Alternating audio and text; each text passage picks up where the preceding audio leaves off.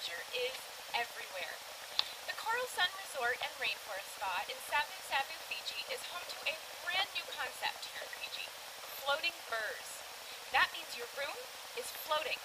There are no stilts below us here, so as the tide comes in and goes out, your room gently rocks. It's like staying on your own boat with access to an all-inclusive resort.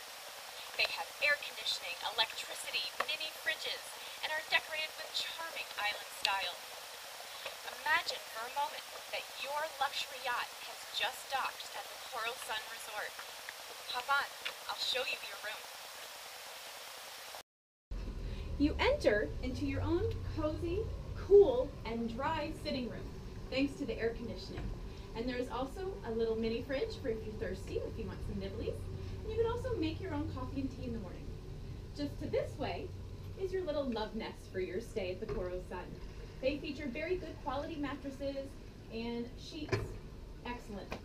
Coming this way, you've got your bathroom, which has excellent water pressure and they feature locally made Fiji products. So now that you've seen the bure, are you interested in taking some excursions? Just a short walk this way,